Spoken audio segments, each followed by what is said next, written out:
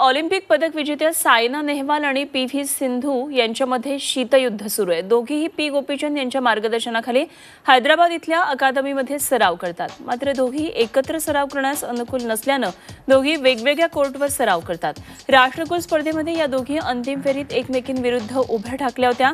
या स्पर्धेनंतर गोपीचंद दोघींनाही वेगवेगळ्या वेळी मार्गदर्शन करत आहेत. याबाबत पी गोपीचंद यांना विचारणा केली असता हा निर्णय प्रशिक्षक विभागानं घेतल्याचं सांगितलेलं. आहे दोघींच्या हितासाठी हा निर्णय घेतला असून यापूर्वीही त्यांनी वेगवेगळा सराव केला असून खेळाडूला जे अनुकूल वाटतं आणि त्यानुसार आम्ही निर्णय घेत असल्याचं गोपीचंद यांनी स्पष्ट केलंय.